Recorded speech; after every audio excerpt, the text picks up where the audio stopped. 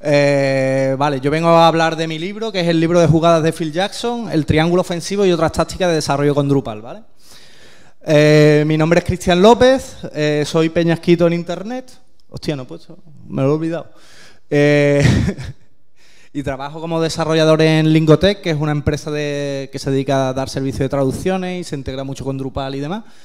Y aparte, pues me dedico a contribuir a Drupal cuando puedo y hablar en eventos sobre Drupal. ¿Vale? Entonces yo vengo a hablar de mis dos pasiones, que son el baloncesto y Drupal, no en ese orden siempre. ¿Y alguien conoce a este señor? ¿Quién es? No eres tú, no eres tú. Este señor es Michael Jordan, que algunos lo conocerán por ser el, el mejor jugador de todos los tiempos en el mundo del baloncesto. Y muchas veces, pues, la gente se olvida de, lo que hay detrás, ¿no? De que hay un deporte en equipo, ¿no? Como hemos hablado del tema de comunidad, de que esto es todos poniendo nuestro granito de arena, conseguimos los objetivos y nos olvidamos de, lo que es la táctica, ¿no? Entonces, yo vengo a hablar aquí del triángulo ofensivo, que es una táctica que, se inventó un, un profesor universitario que luego trabajó para los Bulls de, de Michael Jordan y que consiguió darle pues, los, seis, los seis títulos que ganaron. Eh, esta táctica se llama el triángulo ofensivo, que consiste en, según cómo se disponen los jugadores, forman diversos triángulos de manera que abren espacio y permiten mejor circulación de balón. Y mis amigos y mis amigas nunca quieren escucharme hablar de esto, así que aprovecho este hueco y ya paso a lo de verdad, a drupalear. ¿Vale? Este es Phil Jackson, el entrenador que, que inculcó esto. Y esto del triángulo viene un poco por, tres ideas, ¿vale? Yo lo que he buscado es contaros tres ideas para que veáis cómo se desarrolla con Drupal. ¿Quién ha usado Drupal antes? Manos arriba. ¿Quién ha usado Drupal 8 antes? Menos manos. ¿Quién ha programado con Drupal 7 o anteriores? Algunas manos. ¿Y con Drupal 8? Uno. Bien. Vale, pues entonces genial, porque lo que yo quiero es dar unas pinceladas para que veáis a qué, a qué huele el código en Drupal 8. ¿Vale? De manera que, no sé, ¿quién tiene una buena imagen del código de Drupal? ¿A quién le parece que eso es de losers? ¿No? Ah, del 7 del 8, buena pregunta. Vale, no, muchas veces, yo por ejemplo, me pasaba a mí antes de que empecé, voy a, voy a empezar declarándome culpable, que yo siempre tenía un poco, era como, no, el PHP, eso no es programar. Era como, siempre se ha tenido un poco de, ¿sabes? Esa gente, ¿no? Y, la verdad es que lo que yo quiero es que veáis cómo se puede hacer código y cómo, cómo ese código es legible, cómo ya no estamos hablando del PHP de los 90, sino que esto ha evolucionado un montón. ¿Vale? Y con eso paso a los preliminares. Eh, los preliminares, lo, lo que quiero contar es ¿Qué necesitamos para hacer un, módulo con Drupal? Y para crear un módulo en Drupal es tan sencillo como, como crear un archivo que se llama .info.yaml con extensión .info.yaml, que es un formato YAML que hablaba antes José Luis antes, donde le decimos el nombre del módulo que estamos haciendo y el tipo de y, le decimos que eso es un módulo, porque podría ser un tema, podría ser otro tipo de componente. Y le decimos la versión que va a utilizar, que en este caso pues es Drupal 8. Yo pensaba enseñaros cosas en vivo que me temo que va a ser imposible por el tema del portátil, eh, os lo vais a tener que creer. Eh, cuando tú coges esto y lo y lo, tú creas una, una carpeta, en tu carpeta módulos, creas una carpeta NBA creas una carpeta con este nombre y este archivo y tú ya cuando te vas a la página de extender ya te aparece ahí la instalación de, Drupal. Ya te aparece para instalar el módulo en Drupal. ¿Vale? Entonces, eso es solo para... ya tenemos un módulo. Y ahora vamos a empezar a hacer código encima de... vamos a hacer código que haga cosas. ¿Vale? Entonces, voy a hablar de tres conceptos. Y el primero de ellos son los plugins que ha rozado José Luis antes ¿Vale? Los plugins no son más que pequeñas piezas de funcionalidad que se autodescubren y que se pueden intercambiar. Eh, y aquellos que se agrupan, o sea, aquellos que ofrecen similaridades parecidas, pues se llama que es un tipo de plugin, ¿vale? Y el ejemplo más sencillo de esto es un bloque, ¿no? O sea, todo, si habéis visto Drupal antes, vosotros podéis añadir, tenéis ciertas regiones definidas en vuestro tema y tal, y podéis colocar bloques, y ahora coloco este bloque en la izquierda, no, no, no, no me gusta, lo paso a la derecha, puedes mover cosas alrededor. ¿Vale? Pues los bloques son un tipo de plugin. Hay muchos tipos, por ejemplo, eh, los bloques mismos, los tipos de, de campos que hay, son plugins también en Drupal 8, el cómo se formatean esos son Drupal 8, el formulario de creación de esos campos también, también son plugins, eh, la validación, restricciones de validación también son plugins o cualquier cosa para integraros con Vue. ¿Alguien ha usado Vue, conoce Vue? Que levante la mano quien ha usado Vue. Vale, pues Vue es un módulo que antes era un módulo contribuido, ahora es un módulo que ya viene con el core, como ha explicado José Luis, con el cual tú puedes crear listados. Y cuando digo listados, son listados de todo tipo que a lo mejor luego se pintan de forma que no son un listado. Por ejemplo, un calendario se podría construir con views haciendo cuatro clics. Entonces, vamos a ver nuestro primer plugin. Eh, ¿Se ve bien al fondo? ¿Sí? ¿Se lee? Vale. Vale, pues esto es algo con funcionalidad ya que puedes copiar en tu, en tu sitio y esto ya hace algo con no demasiadas líneas de código. Eh, entonces, una hemos visto, hemos dicho que son plugins, al final los plugins se traducen en que son clases. ¿Quién conoce programación orientada a objetos? Casi todos. Vale, pues al final son clases y esas clases lo que hacen es que extienden de alguna otra clase y, y con eso ya, ya creamos nuestra, nuestro, nuestro bloque. Eh, los plugins eh, tienen anotaciones que en PHP no se soportan de forma nativa, entonces son en forma de comentario, lo cual si cometes un error puede ser divertido de encontrar, pero básicamente es eso, es decir, que esto es un bloque que tiene este ID y que va, a tener este título cuando lo muestre en las páginas de administración, y se va a agrupar dentro de categorías, de manera que cuando yo vaya buscando mis bloques, pues pueda filtrar por lo que, lo que estoy buscando. Eh, estas clases tienen un método estático para construirlas y tienen un método que se llama build, que lo que hace es devolver eh, lo que vamos a, mostrar.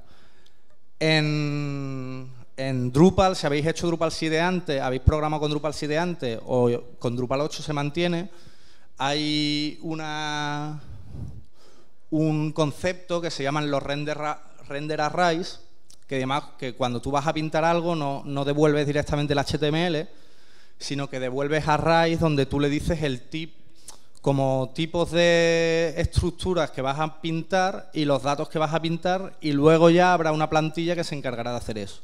En esa parte yo no voy a entrar hoy, sino simplemente en cómo pintamos. En este caso estoy, estoy devolviendo un elemento markup, que esto es para devolver HTML tal cual, y estoy devolviendo una cadena. Entonces, cuando yo ponga este bloque en mi página, que no voy a poder hacer, eh, lo que hace es que me pinta un bloque y me muestra esa cadena. ¿Hasta aquí bien? ¿Sí?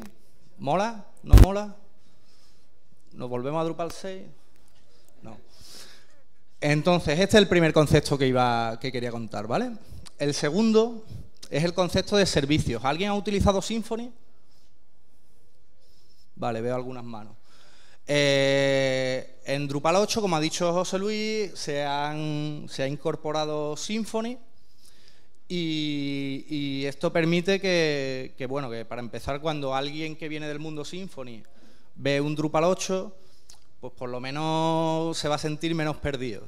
Antes había algo que se conoce como drupalismos, ¿no? que todo se construía ahí y, digamos que la curva de aprendizaje era muy grande. Ahora, gente que venga del mundo PHP puede, puede digamos, pillarle el rollo a Drupal mucho, mucho antes y sacarle partido. Entonces, esto es un concepto que en verdad no es de Drupal 8, sino que es un concepto de, de Symfony y los servicios son cualquier clase de objeto que realiza una funcionalidad, así muy abstracto. ¿Por qué? Porque puede ser cualquier cosa. Eh, como cuando hablamos de un ordenador con Linux, tú dices, un servicio es un demonio que se encarga de, yo qué sé, de escuchar, de enviar correo. Pues es algo que tiene un propósito muy específico, digamos. Y estos servicios se utilizan en toda tu aplicación cada vez que necesitas esa funcionalidad. O sea, cada vez que tú quieres mandar un correo, pues llamarás, obtendrás de obtendrás el, servicio de enviar correo y lo utilizarás y ya está. No tiene más. ¿Cómo se desarrolla un servicio? Pues es tan fácil como crear una clase. Entonces, esto no necesita ni heredar de nada y lo que tenemos que hacer es añadir los métodos que queramos. En este caso yo había creado un servicio que, se va a la página de la NBA.com, que tiene una API sin documentar ni nada, pero al final se sacan las cosas, y, te permite sacar los resultados de los partidos. ¿no? Entonces puedes mostrar los resultados en tiempo real. Y no quiero entrar en cómo parseo lo que me devuelve, porque es un poco... no está ni documentado y, no, no es muy obvio, pero bueno. Entonces al final lo que yo quiero es que me devuelva el equipo 1 lleva tantos puntos, el equipo 2 lleva tantos puntos. ¿Vale? Y eso es mi servicio. O sea, ¿cuál es mi funcionalidad? Pues, acceder, pues bajarme datos de nba.com. ¿Cómo engancho yo esta clase para desde que cualquier sitio de mi aplicación en Drupal 8 se pueda utilizar? Pues necesito eh, declarar un archivo service.yaml que igual que el YAML que hemos visto para definir un módulo, y los que vengáis de Symfony os sonará. Lo único que hace es decir que mis servicios son estos, le pongo un nombre, le, pongo una, le, digo qué clase lo implementa y ya está. Cuando yo quiera llamar a este servicio,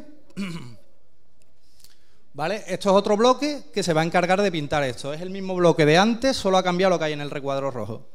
Antes pintaba aquí una cadena y ahora lo que hago es, le digo a Drupal que me dé el servicio nba.results y llamo al método getResults y eso me devuelve la cadena con el resultado. Eh, como esto lo estoy pintando dentro de un bloque, pues yo ahora puedo poner ese bloque donde yo quiera. Yo puedo en mi interfaz de, usuario, de administración de Drupal, puedo mover eso y ponerlo en el pie, en un lado, puedo poner varios, como ha dicho José Luis, que podemos tener varios, varios bloques del mismo tipo y demás. Eh, y el bloque en sí pues es igual que el de antes. La idea ha cambiado porque queremos hacer otro bloque diferente y poco más. Eh, hay un... Hay un... En, en Drupal 8 se utilizan namespaces, entonces hay una convención que es que tus plugins van en la carpeta plugin y dentro de esa carpeta habrá distintos tipos de... De los distintos tipos de plugins, pues tendrás que usar el que corresponda. Pues dentro de tu carpeta plugin tendrás una carpeta blog, tú pones ese namespace, extiendes del blog base y pones esta anotación y ya tienes un bloque. ¿Listo? Ese es el segundo punto que quería enseñaros. Y el tercero es formulario. O sea, hemos visto cómo pintar bloques, hemos visto un ejemplito de sacar datos de otros sitios y exponerlo a nuestra aplicación como un servicio.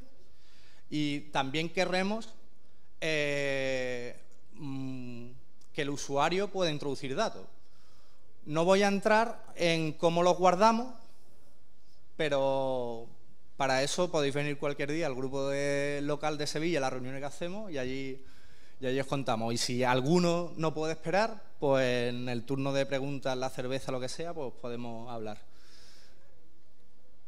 El formulario. Para hacer un formulario, en este caso, como ya hemos visto bloques antes, lo que quería hacer era una página nueva. Entonces, para eso os tengo que explicar lo del routing, que es lo que se encarga de decir, eh, cuando yo voy a esta ruta, esto eh, llama a este código. Si los que vengáis de Symfony, también seguramente os sonará. Eh, no es exactamente igual, pero es muy parecido. Y en este caso es, cada ruta le pongo un nombre, voy a tener la ruta que voy a utilizar, y voy a decir que esta clase va a implementar mi formulario y que va a tener este título y los permisos que se necesitan para acceder a ella. Y ya está, con eso ya tengo esta ruta y va a llamar a este formulario. Ahora vamos a crear ese formulario. Para crear ese formulario, pues lo mismo. Vamos a tener en, en este caso no es obligatorio que esté en el mismo en el namespace de form, de form, aunque sí es una buena convención a seguir, que yo no he seguido. Y para eso están las convenciones, para romperlas. Y extendemos de form base que nos va a dar eh, nos va, nos va a dar herramientas para poder nos va a dar de nos va a dar ya ciertas funcionalidades que vamos a, reutilizar. Y es un poco, pues, prácticamente como el, caso del, del, bloque. En este caso vamos a tener un ID del formulario para identificar qué formulario se está enviando o no cuando se envíe. Eh, y vamos a usar lo que se llama la forma API, que es muy parecido a lo que hemos hablado de render arrays. Y en este caso, pues es lo mismo. Vamos a crear un texto que es un tipo markup y le ponemos ahí una cadena y vamos a hacer un, select, donde, un combo donde yo pueda seleccionar distintas opciones. Y aquí pues voy a poner mi array de opciones, voy a poner mi que tengo un botón de enviar y el título del botón de enviar y voy a devolver ese, ese array que es el formulario. Listo. Y cuando ese, cuando ese formulario se envíe, pues voy a, lo que voy a hacer es, como he dicho, no voy a entrar en cómo se guardan los datos, lo que voy a hacer es mostrar el mensaje en la parte de arriba y mostrar una imagen. Y eso es un formulario, no hay más. Vale, entonces con eso os he contado un poco las enseñanzas de Phil Jackson y os he enseñado tres conceptitos de Drupal que, que espero que os hagan llevaros una mejor imagen de las que tuvierais. Y nada, eso es todo.